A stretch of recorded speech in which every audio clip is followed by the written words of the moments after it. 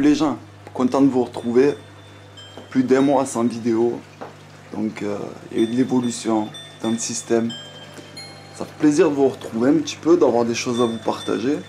Donc euh, j'ai plusieurs choses à vous dire. Donc la vidéo elle va être partagée en trois parties. Déjà on va parler de la bouffe pour poissons. J'ai reçu pas mal de commentaires euh, de la part des gens. Il y a la vidéo comment nourrir ses poissons qui commence à faire pas mal de vues. Et j'ai évolué depuis. Je suis pas resté sur le même principe. On va parler de ça. Dans une deuxième partie, on va parler de l'évolution des plantes en général. Pour les gens qui me suivent, voilà, j'avais tout coupé il y a un mois. J'ai réeffectué une coupe encore euh, hier. Et euh, on va faire un point de vue général sur euh, l'évolution des plantes. Et on finira avec une petite surprise qui concerne la mousse. Voilà. Donc en général, on va commencer par parler déjà de la bouffe pour poissons. Donc il y a quelques temps, j'avais fait cette vidéo où je montrais que on pouvait nourrir ces poissons avec du muesli. On pouvait aussi nourrir ces poissons avec des croquettes. Ça marche. Donc il n'y a pas de souci. On va en prendre vraiment une ou deux histoire de, faire un essai. Je sais pas si ça va. Si je vais les attirer. Hop, si. Je vais leur donner à manger, mais ils aiment quand même. Donc actuellement, moi j'utilise tout simplement du flocon d'avoine. Donc en fait, c'est ce que je consomme, tout simplement. Et je re-remplis la boîte. Voilà, classique. Donc c'est fini, les petits morceaux de fruits. En fait, il y a des sucres dans tout ce qui est muesli qui n'est pas forcément correct. Les flocons d'avoine simples, je fais pas la, la pub pour Bjorg ou quoi. Mais en tout cas, c'est ce que j'utilise actuellement en complément des croquettes. Voilà. Donc euh, ça vous pouvez essayer et ça revient moins cher, c'est pas mal. Pour ce qui concerne l'évolution des plantes, donc euh, je pense que le fait de couper, déjà ça c'est un, premier constat, le tronc. Donc il y a vraiment euh, un effet bonsaï en fait. Sachant que j'ai les poissons qui sont dans l'aquarium qui bouffent les racines, et le fait que je coupe la tête à chaque fois de, des plantes, le, tronc a tendance à, grossir avec le temps. Donc c'est un effet moi qui me plaît, mais voilà, il faut surveiller ça et surtout surveiller la, pousse des plantes. Actuellement, j'essaye de faire une coupe euh, journalière en fait. Couper une fois par jour pour avoir, euh, comment dire, plus de lumière qui circule. J'aime bien le fait que toutes les plantes soient là, mais euh, il faut voilà, euh, pouvoir nourrir l'ensemble des plantes. Voilà, pendant un mois, on peut voir que celle-là tire un peu la gueule. Mais rien que la coupe d'hier a fait que ça a repris. Voilà, on peut voir cette, branche-là qui commence à reprendre des forces.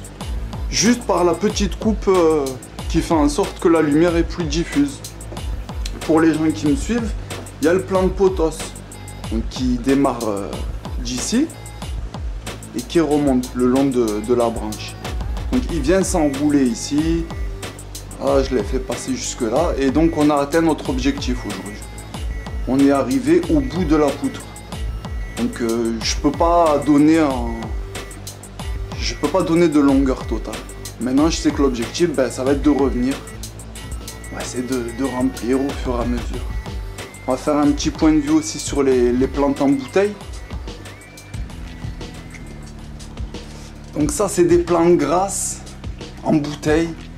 C'est pas super, les toutes petites là. C'est pas super, elles ont du mal. Les autres, elles se portent mieux. Celle-là, je pense qu'elle va faire un petit séjour en, hospice. Voilà, guérir. Le plan de poteau dans cette bouteille, par contre, là, il se tient à merveille. Voilà, ça remplit bien la bouteille. Là, une petite aloe vera. La coupe, ça lui a fait du bien aussi. Ça, je sais pas ce que c'est comme plante. C'est une plante tropicale. On en trouve dans les terrariums avec le tube relié à la clim. Donc ça, parfait. Pour les plantes tropicales qui ont besoin d'une eau déminéralisée, c'est parfait. L'eau de la clim, parfait. Ensuite, un autre truc. Je reçois pas mal aussi de commentaires concernant euh, les vitres donc les vitres de mon aquarium qui sont dégueulasses. Je l'avoue, je suis un gros feignant. Mais en même temps, ben, le souci c'est que mon aquarium est exposé à la lumière. Et ça fait un mois. Donc je tire les rideaux.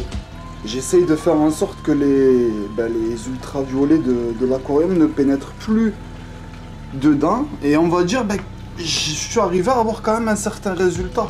Parce qu'on va dire ça c'est le avant. Voilà, ici. C'est, dégueulasse. Ici c'est le après. On va reculer. On aura un meilleur angle de vue. Voilà, on voit bien que sur les côtés là. Voilà, on va regarder par ici. C'est énorme. Mais là, ça, fait quoi? Ça fait peut-être une semaine que j'essaye de, clore les rideaux et ça aide quand même. J'ai même pas besoin de frotter pour enlever tout ça. Bon, je pense quand même que je vais aider euh, prochainement, mais ça fait son effet quand même. Voilà, on va finir avec euh, la petite surprise actuelle. Ben, c'est la mousse. Donc, ben, j'ai fait des petits, des petits essais là. On peut voir des, des petits bacs avec des plantes grasses et dedans il y a de la mousse.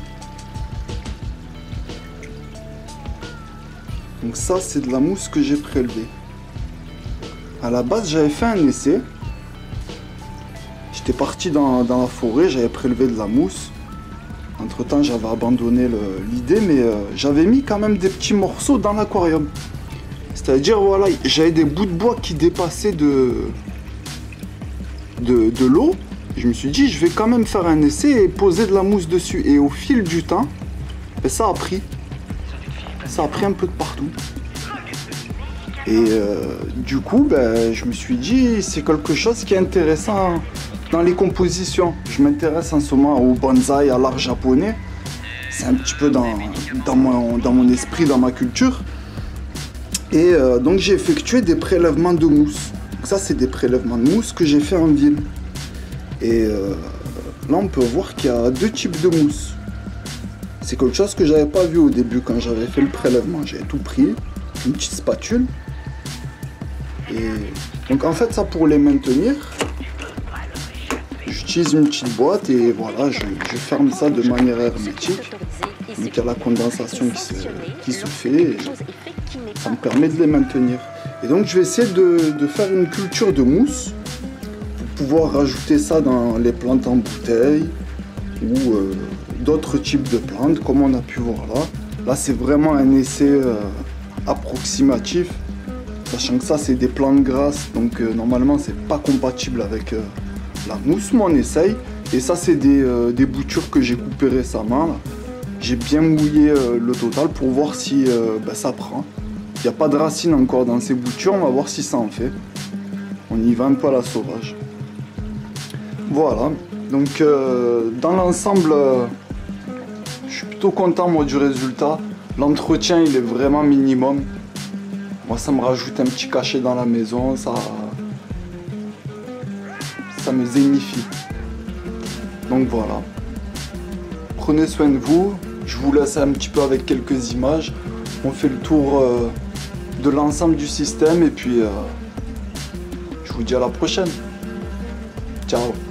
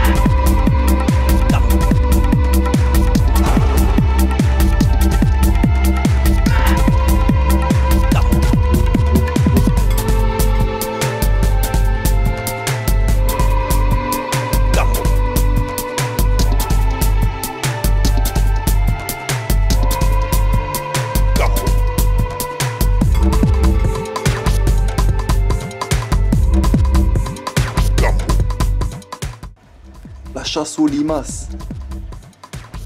Tu te réveilles le matin, tu vois ça. Eh, c'est quoi? Ben, C'est les limaces.